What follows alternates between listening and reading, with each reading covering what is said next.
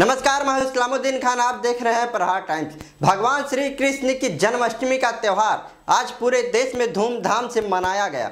जन्माष्टमी सिर्फ़ भारत ही नहीं, बल्कि विदेशों में भी रह रहे भारतीयों ने बड़ी ही धूमधाम से मनाया। आपको बता दें कि कृष्ण जन्माष्टमी भाद्रपद मास की अष्टमी को पड़ती है। ये त्यौहार भगवान कृष्ण के जन्म के उपलक्ष्य में मनाया जाता है।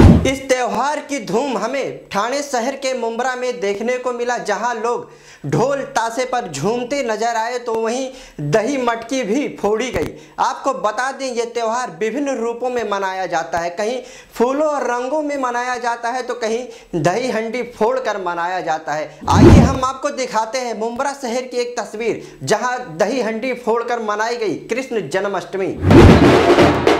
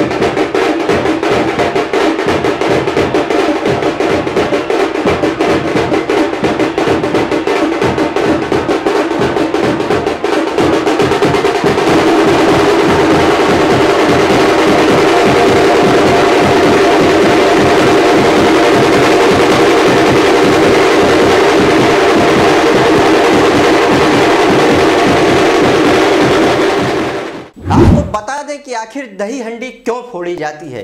कृष्ण की माखन चोरी से तंग आकर वृंदावन की महिलाएँ माखन की मटकी ऊंचाई पर लटकाना शुरू कर दिया। मगर कृष्ण ने उनकी इस योजना पर भी पानी फेर दिया। पुराणों में कहा गया है कि कंस के अत्याचारों से मथुरा वासियों को बचाने के लिए भगवान श्री कृष्ण ने जन्म लिया था। कंस की बहन देवकी का विवाह राजकुमार वासुदेव के साथ हुआ था।